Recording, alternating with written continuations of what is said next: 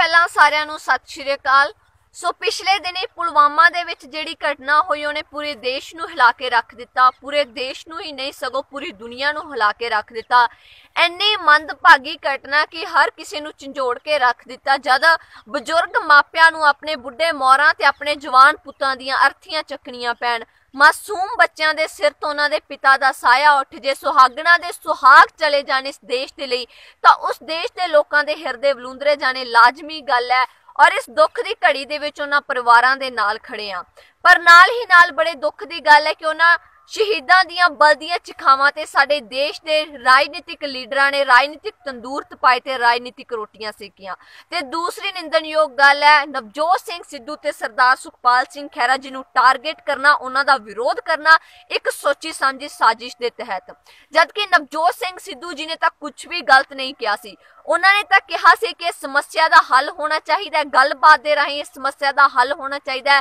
ਹਜ਼ਾਰਾਂ ਵਾਰ ਮਾਵਾਂ ਦੇ ਪੁੱਤ ਮਰਿਆ, ਹਜ਼ਾਰਾਂ ਵਾਰ ਸਾਡੇ ਦੇਸ਼ ਦੇ ਨੌਜਵਾਨ ਸ਼ਹੀਦ ਹੋਇਆ। ਸੋ ਡਾਇਲੌਗ ਦੇ ਰਾਹੀਂ ਇਸ ਸਮੱਸਿਆ ਦਾ ਹੱਲ ਕੀਤਾ ਜਾਣਾ ਚਾਹੀਦਾ ਪਰ ਕੁਝ ਕੁ ਵਿਰੋਧਕਰਤਾ ਨੇ ਨਵਜੋਤ ਸਿੰਘ ਸਿੱਧੂ ਦਾ ਵਿਰੋਧ ਕੀਤਾ, ਗੱਲਾਂ ਤੋਰੀਆਂ ਉਹਨਾਂ ਦੀਆਂ, ਜੱਫੀਆਂ ਦੀਆਂ। ਪਰ ਮੈਂ ਉਹਨਾਂ ਨੂੰ ਪੁੱਛਣਾ ਚਾਹੁੰਦੀ ਹਾਂ ਕਿ ਜਦੋਂ ਸਾਡੇ ਦੇਸ਼ ਦੇ ਬਹੁਤ ਹੀ ਸਤਿਕਾਰਯੋਗ ਪ੍ਰਧਾਨ ਮੰਤਰੀ ਨਰਿੰਦਰ ਮੋਦੀ ਜੀ ਪਾਕਿਸਤਾਨ ਜਾ ਕੇ ਜੱਫੀਆਂ ਪਾ ਕੇ ਆਉਂਦੇ ਤੇ ਬਿਰਿਆਨੀਆਂ ਖਾ ਕੇ ਆਉਂਦੇ ਆ, ਤਾਂ ਉਹ ਤਾਂ ਦੇਸ਼ ਭਗਤ ਹੋਏ ਤੇ ਜੇ ਨਵਜੋਤ ਸਿੰਘ ਸਿੱਧੂ ਜੱਫੀ ਪਾਉਣ ਤਾਂ ਦੇਸ਼ ਧਰੋਹੀ ਤੇ ਗੱਦਾਰ। ਜੇ ਕੈਪਟਨ ਅਮਨਿੰਦਰ ਸਿੰਘ ਆਪਣੇ ਮਹਿਮਾਨਾਂ ਨੂੰ ਜੱਫੀ ਪਾ ਕੇ ਗੱਲ ਨਾਲ ਲਾ ਕੇ ਉਹਨਾਂ ਦਾ ਸਵਾਗਤ ਕਰਦੇ ਆ, ਤਾਂ ਉਹ ਦੇਸ਼ ਭਗਤ ਤੇ ਜੇ ਨਵਜੋਤ ਸਿੰਘ ਸਿੱਧੂ ਜੱਫੀ ਪਾਉਂਦੇ ਆ, ਤਾਂ ਉਹ ਦੇਸ਼ ਧਰੋਹੀ ਤੇ ਗੱਦਾਰ। ਜੇਕਰ ਨਵਜੋਤ ਸਿੰਘ ਸਿੱਧੂ ਦੇ ਨਾਲ ਜਾ ਕੇ ਸਾਡੇ ਬਹੁਤ ਹੀ ਸਤਿਕਾਰਯੋਗ ਕੇਂਦਰੀ ਮੰਤਰੀ ਹਰਸਿਮਰਤ ਕੌਰ ਬਾਦਲ ਜੀ ਕਰਤਾਰਪੁਰ ਲਾਂਘਾ ਖੁੱਲਣ ਦੀ ਗੱਲ ਕਰਦੇ ਆ, ਤਾਂ ਉਹ ਦੇਸ਼ ਭਗਤ ਤੇ ਜੇ ਨਵਜੋਤ ਸਿੰਘ ਸਿੱਧੂ ਕਰਤਾਰਪੁਰ ਲਾਂਘਾ ਖੁੱਲਣ ਦੀ ਗੱਲ ਕਰਦੇ ਆ ਤਾਂ ਉਹ ਦੇਸ਼ ਧਰੋਹੀ ਤੇ ਗੱਦਾਰ। ਜੇਕਰ ਸਾਡੇ ਬਹੁਤ ਹੀ ਸਤਿਕਾਰਯੋਗ ਪ੍ਰਧਾਨ ਮੰਤਰੀ ਨਰਿੰਦਰ ਮੋਦੀ ਜੀ ਕਰਤਾਰਪੁਰ ਲਾਂਘਾ ਖੁੱਲਣ ਦੀ ਇਜਾਜ਼ਤ ਦਿੰਦੇ ਆ, ਤਾਂ ਦੇਸ਼ ਭਗਤ ਤੇ ਜੇ ਨਵਜੋਤ ਸਿੰਘ ਸਿੱਧੂ ਕਰਤਾਰਪੁਰ ਲਾਂਘਾ ਖੁੱਲਣ ਦੀ ਗੱਲ ਕਰਦੇ ਆ, ਤਾਂ ਗੱਦਾਰ ਤੇ ਦੇਸ਼ ਜੇਕਰ ਸਾਡੇ ਮੰਤਰੀ ਰਾਜਨਾਥ ਸਿੰਘ ਜੀ ਲੋਕ ਸਭਾ ਦੇ ਵਿੱਚ ਬਿਆਨ ਦਿੰਦੇ ਆ ਕਿ ਅੱਤਵਾਦ ਦਾ ਕੋਈ ਧਰਮ, ਕੋਈ ਮਜ਼ਹਬ ਨਹੀਂ ਹੁੰਦਾ, ਤਾਂ ਉਹਨਾਂ ਦੇ ਬਿਆਨ ਦਾ ਤਾੜੀਆਂ ਮਾਰ ਕੇ ਸਵਾਗਤ ਕੀਤਾ ਜਾਂਦਾ ਹੈ। ਪਰ ਜੇ ਦੂਜੇ ਪਾਸੇ ਇਹੀ ਬਿਆਨ ਨਵਜੋਤ ਸਿੰਘ ਸਿੱਧੂ ਦਿੰਦੇ ਨੇ ਕਿ ਅੱਤਵਾਦ ਦਾ ਕੋਈ ਧਰਮ, ਕੋਈ ਮਜ਼ਹਬ ਨਹੀਂ ਹੁੰਦਾ ਤਾਂ ਉਹ ਦੇਸ਼ ਤੇ ਗੱਦਾਰ। ਇਹ ਸਰਟੀਫਿਕੇਟ ਦੇਣ ਵਾਲੇ ਲੋਕ ਕੌਣ ਨੇ? ਇਹ ਸਿਰਫ ਚੰਦ ਲੋਕ ਨੇ ਜਿਹੜੇ ਸੜਕਾਂ ਤੇ ਉਤਰਦੇ ਨੇ, ਨਫ਼ਰਤ ਫਲਾਉਂਦੇ ਨੇ, ਦਹਿਸ਼ਤ ਫਲਾਉਂਦੇ ਨੇ। ਸੋ ਸਾਨੂੰ ਪੰਜਾਬੀ ਹੋਣ ਦੇ ਨਾਂ ਤੇ ਇਹਨਾਂ ਦੀ ਨਿੰਦਿਆ ਕਰਨੀ ਚਾਹੀਦੀ ਹੈ। ਪਹਿਲਾਂ ਹੀ ਪੰਜਾਬ ਦਾ ਬਹੁਤ ਨੁਕਸਾਨ ਹੋ ਚੁੱਕਿਆ ਹੈ। ਸੋ ਅਜਿਹੀਆਂ ਘਟਨਾਵਾਂ ਅੱਗੇ ਹੋਰ ਨਾ ਹੋਣ। ਇਸੇ ਲਈ ਨਵਜੋਤ ਸਿੰਘ ਸਿੱਧੂ ਨੇ ਕਿਹਾ ਸੀ ਕਿ ਗੱਲਬਾਤ ਦੇ ਰਾਹੀਂ ਇਸ ਸਮੱਸਿਆ ਦਾ ਹੱਲ ਹੋਣਾ ਚਾਹੀਦਾ ਹੈ।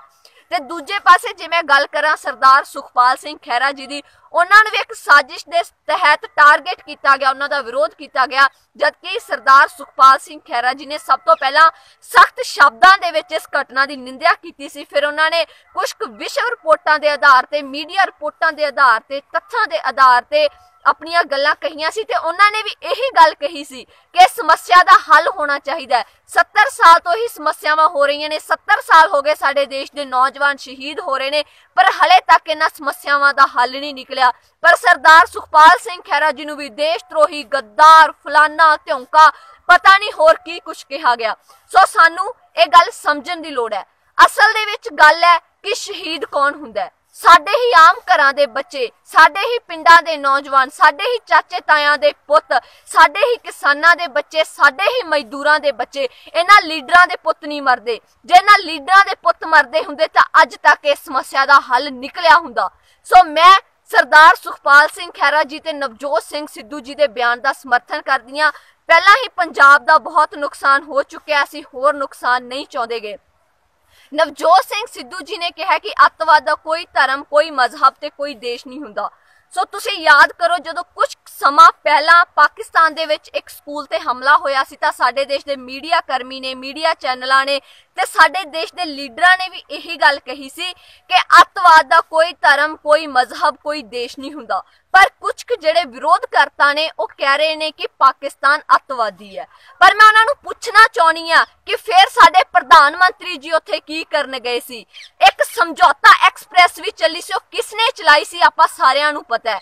ਸਾਡੇ ਦੇਸ਼ ਦੇ ਬਹੁਤ ਸਾਰੇ ਮੁੱਖ ਮੰਤਰੀ ਪਾਕਿਸਤਾਨ ਘੁੰਮਣ ਗਏ ਆ, ਵਾਰਤਾਲਾਪ ਕਰਨ ਗਏ ਆ, ਕੁਝ ਕੁ ਭੇਡੂ ਲੈਣ ਵੀ ਗਏ ਆ, ਕੁਝ ਕੁ ਗੋਲ ਗੱਪੇ ਖਾਣ ਵੀ ਗਏ ਆ। ਇਹਦਾ ਮਤਲਬ ਇਹ ਸਾਰੇ ਦੇਸ਼ ਭਗਤ ਹੋ ਗਏ ਤੇ ਕੱਲਾ ਨਵਜੋਤ ਸਿੰਘ ਸਿੱਧੂ ਗੱਦਾਰ ਹੋ ਗਿਆ। ਨਹੀਂ ਵੀਰੋ, ਆਪਾਂ ਨੂੰ ਇਹ ਗੱਲ ਸਮਝਣ ਦੀ ਲੋੜ ਹੈ, ਅਸੀਂ ਪੰਜਾਬ ਦਾ ਹੋਰ ਨੁਕਸਾਨ ਨਹੀਂ ਚਾਹੁੰਦੇ। ਹਜ਼ਾਰ ਵਾਰ ਮਾਵਾਂ ਦੇ ਪੁੱਤ ਮਰੇ ਆ, ਹਜ਼ਾਰ ਵਾਰ ਸਾਡੇ ਦੇਸ਼ ਦੇ ਨੌਜਵਾਨ ਸ਼ਹੀਦ ਹੋਏ ਆ, ਸੋ ਇਹਨਾਂ ਸਮੱਸਿਆਵਾਂ ਦਾ ਹੱਲ ਕਰਨਾ ਬਹੁਤ ਜ਼ਰੂਰੀ ਹੈ। ਇੱਕ ਗੱਲ ਹੋਰ ਕਿ ਸਾਡੇ ਜਿਹੜੇ ਦੇਸ਼ ਦੇ 45 ਦੇ ਲਗਭਗ ਨੌਜਵਾਨਾਂ ਦੀ ਸ਼ਹਾਦਤ ਤੇ ਇਹਨਾਂ ਲੀਡਰਾਂ ਨੇ ਆ ਕੇ ਬਿਆਨ ਦਿੱਤੇ, ਪਰ ਮੈਂ ਇੱਕ ਗੱਲ ਹੋਰ ਦੱਸਣਾ ਚਾਹੁੰਦੀ ਹਾਂ ਕਿ ਹਰ ਰੋਜ਼ ਇੱਕ ਇੱਕ ਦੋ ਦੋ ਕਰਕੇ ਹਰ ਮਹੀਨੇ ਲਗਭਗ ਸਾਡੇ 40 45 ਨੌਜਵਾਨ ਜਿਹੜੇ ਸ਼ਹੀਦ ਹੁੰਦੇ ਨੇ, ਪਰ ਉਹ ਗੱਲਾਂ ਇਹਨਾਂ ਲੀਡਰਾਂ ਦੇ ਲਈ ਬਹੁਤ ਛੋਟੀਆਂ ਇਹ ਚਾਹੁੰਦੇ ਆ ਕਿ ਕੋਈ ਵੱਡੀ ਖਬਰ ਹੋਵੇ, ਫਿਰ ਅਸੀਂ ਬਾਹਰ ਆਈਏ, ਗੱਲ ਕਰੀਏ ਮਾਰਾ ਮਰਾਈ ਦੀ, ਵਿਰੋਧ ਦੀ, ਨਫ਼ਰਤ ਦੀ, ਬਦਲਿਆਂ ਦੀ। ਸੋ ਵੀਰੋ, ਸਾਨੂੰ ਹੁਣ ਖੁਦ ਇਹ ਗੱਲਾਂ ਸਮਝਣੀਆਂ ਪੈਣੀਆਂ। ਇੱਕ ਗੱਲ ਹੋਰ ਕਿ ਸਾਡੇ ਬਹੁਤ ਸਾਰੇ ਲੀਡਰ ਉਹਨਾਂ ਸ਼ਹੀਦਾਂ ਦੀਆਂ ਅਰਥੀਆਂ ਨੂੰ ਕੰਧੇ ਦੇਣ ਦੇ ਲਈ ਉਹਨਾਂ ਦੇ ਘਰ ਪਹੁੰਚੇ।